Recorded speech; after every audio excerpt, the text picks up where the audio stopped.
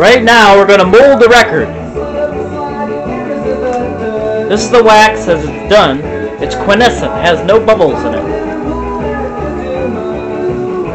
This is what the wax looks like. It's a brown wax. We pour it in the mold very slowly in the middle so it spreads it out.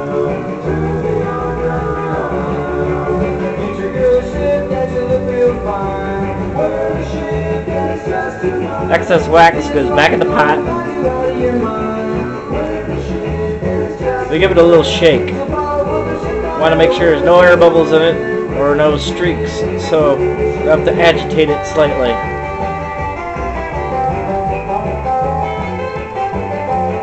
So any bubbles that's inside rise to the top of the wax.